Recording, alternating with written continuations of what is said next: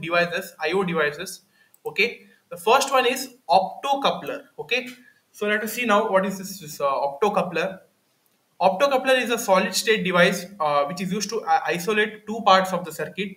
Optocoupler combines an LED and a phototransistor in a single housing package. Okay, it uh, it combines of a you, you could see this block here LED and a phototransistor in a single package. Okay, Uh, inside a single box we have both the LEDs as well as the photo transistor, and these are the interfacing between input and output. Okay, so in electronic circuits, optocoupler is used for suppressing interference in data communication, circuit isolation, high voltage separation, simultaneous separation and intensification signals. Okay, optocouplers can be used in either input circuits or in output circuits. Okay, so this is one simple block I've already told you. So here we have uh, one microcontroller with respect to that the interfacing part is uh, given here optocoupler in input and output circuit okay? So this is the input interface where we have an led and a phototransistor and here at the output we have one more output interface where one we have a led and a phototransistor. This the input of this led is given to the microcontroller that is 8089c51 okay and when resistors are used to uh, control the flow of signals and uh, pass the accurate signals which required okay the vcc is the voltage supply. And here at the output end it is given to the resistor and is given to the led part. And the output port pin is given to the negative end of the led part. And again it is given to the output of the phototransistor. And this is the output interface getting okay? So these two are called as optocouplers okay? So these two the combination of LED as well as photo transistors at the input and output part for interfacing part we call them as optocouplers okay? So th this is the diagrams and the explanation. You please make a note of it. Next we have onboard communication interface SPI bus. That is serial peripheral interface bus. This SPI bus is a synchronous bidirectional full, full duplex 4 wire serial interface bus the concept of SPI is introduced by Motorola. It was introduced by Motorola. It is a single master multi-slave system. Okay. It is possible to have a system where more than one SPI device can be master, provided by the condition only one master device is active at any given point of time. It requires four signal lines for communication. They are master out slave in, MOSI, master in slave out, MISO, serial clock that is SCLK and slave select. Okay, so these are the four signal lines for communication. Okay, master out slave in or uh, could, we could be saying that it has bus lines master out slave in, master in slave out, serial clock and slave, slave select. So the MOSI is a signal line carrying the data from the master to slave device. It is also known as slave input. Master in slave out is a signal line carrying the data from slave to master. Okay, it is also known as slave output. Serial clock is the signal line carrying the clock signals and slave select is the signal line for the, selection of the slave device in an active low signal. Okay, which slave is selected, uh, which that could be decided by the slave select line. So this is the interfacing diagram. Okay, so we have MOSI, SCL, MISO, one master and two slaves. Okay, so the two slaves in this case they have taken it as uh, serial EEPROM and LCD. Okay, you could uh, make a note of this. Okay, very important. Okay, so this was about SPI bus. Next is external communication interface Bluetooth. Okay, so Bluetooth, Wi-Fi, Bluetooth and I don't know about Zigbee, but Bluetooth and Wi-Fi are the most common source of internet that is used for communication purposes worldwide. Everybody are using Bluetooth and Wi-Fi. Right now, I'm recording this using uh, uh, Microsoft Clipchamp software, and I'm using Wi-Fi. Okay, so that's why this Wi-Fi and Bluetooth technology are commonly used worldwide, and uh, I hope everybody might be knowing this. So this is a sure short question if they give for exam so this thing, this Bluetooth and Wi-Fi about Bluetooth and Wi-Fi, you could be writing it your own words how much you know. Okay, yeah. So uh, according to this, some there are some theory given here, so that I'm going to re uh, re read it out to you. Okay. First is it is low cost, low power, short range wireless technology for data and voice communication.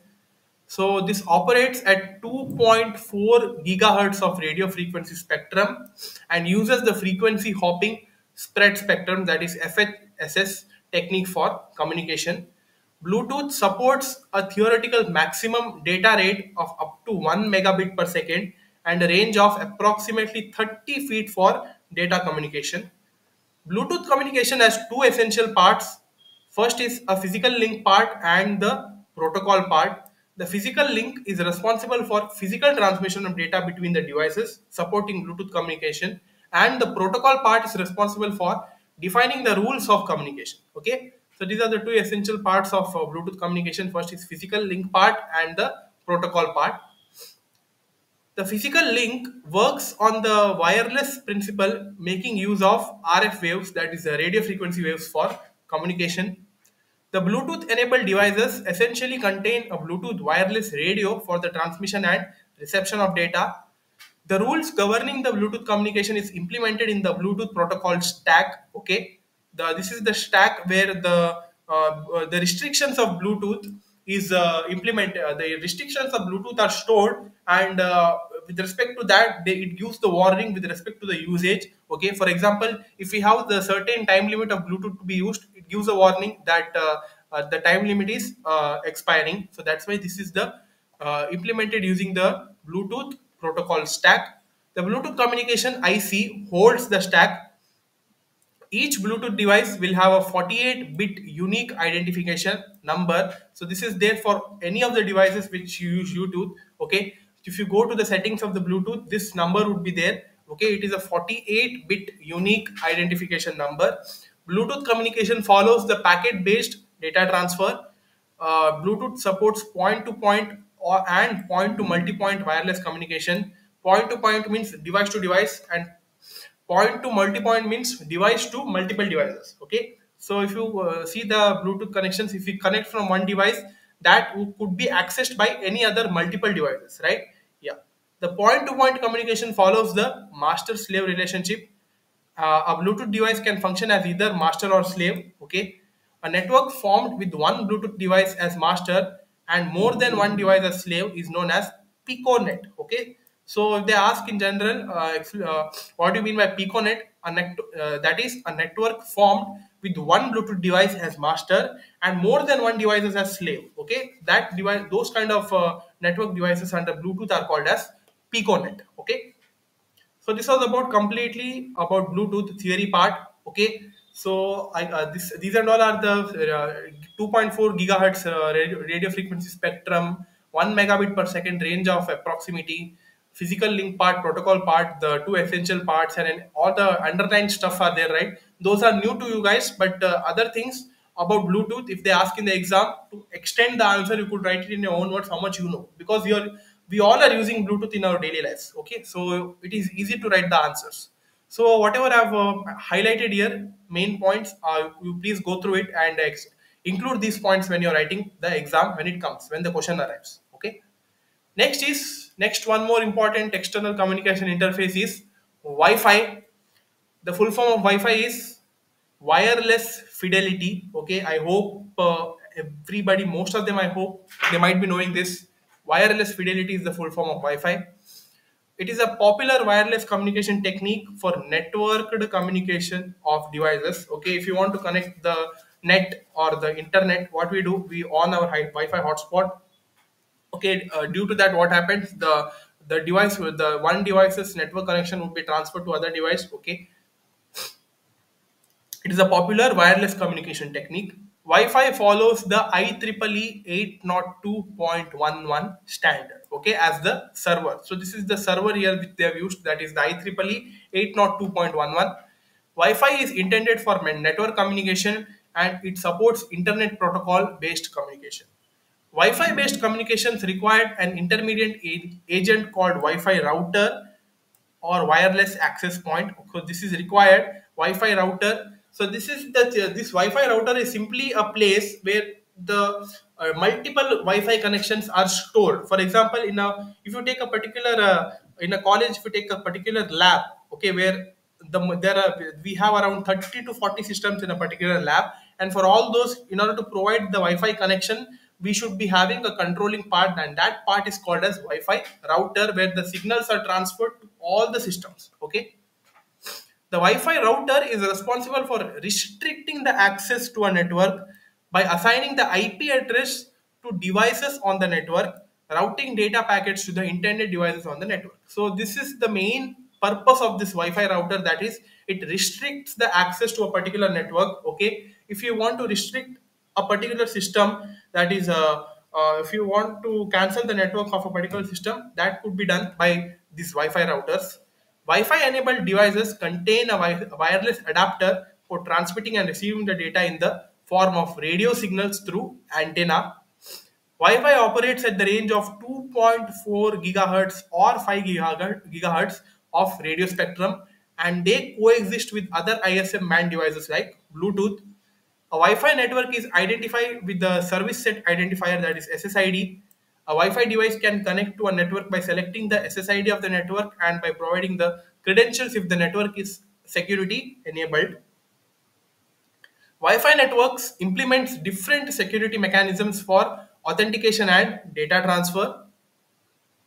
Wireless equivalency protocol that is WEP, uh, wireless protected access WPA, etc. are some of the security mechanisms which are used by Wi-Fi networks in the data communication. Okay, so this was everything about external communication interface Wi-Fi.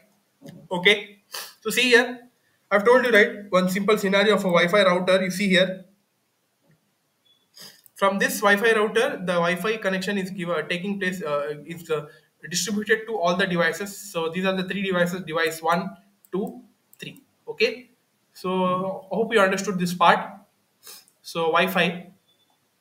So Bluetooth and Wi-Fi are done. So this is the last part. Uh, this is not commonly used, but uh, in the syllabus it is included. So that's why I thought to cover this part. That is the ZigBee. Okay. ZigBee is low power, low cost wireless network. Again, it is a wireless network communication protocol based on IEEE 802.15.4 2006 standard. ZigBee is targeted for low power, low data rate, and secure applications for wireless personal area networking, that is WPAN. The ZigBee specifications support a robust mesh network containing multiple nodes. This networking strategy makes the network reliable by permitting messages to travel through a number of different paths to get the to get from one node to another. The ZigBee operates worldwide at the unlicensed band of uh, radio spectrum, mainly at 2.400 to 2.484 gigahertz, 902 to 928 megahertz, and 868 to 868.6 megahertz. Okay, so ZigBee supports an operating distance of uh, up to 100 meters and a data rate of 20 to 250 kilobytes per second. The ZigBee is primarily targeting the application areas like home and industrial automation, energy management, home control security, medical patient tracking, logistics, and asset tracking, and sensor networks and active RFID. Okay. So automatic uh, meter reading that is AMR, smoke and detectors, wireless telemetry, HVAC control, heating control, lighting controls, environmental controls, etc. are the examples for applications which can make use of this ZigBee technology. Okay, so this uh, ZigBee technology also they are mentioned here that is uh, in the ZigBee terminology, each ZigBee device falls under one of the following ZigBee device category. Okay, so this ZigBee uh, as uh, as far as as as far as as far as I've read, so this ZigBee is basically a single device which is used to control multiple devices. Okay, so again, it it uh, has the relationship with the common relationship with that of Wi-Fi and Bluetooth as well. Okay, it, so with respect to that, we have ZigBee coordinator, ZigBee router, and ZigBee end device. Okay, so this is the simple block to represent the ZigBee here. So make a note of it. Okay. So that's all, guys. I didn't I didn't knew much about this ZigBee, so that's why I went on reading this. But uh, this uh, is very important, so that's why I thought to cover this.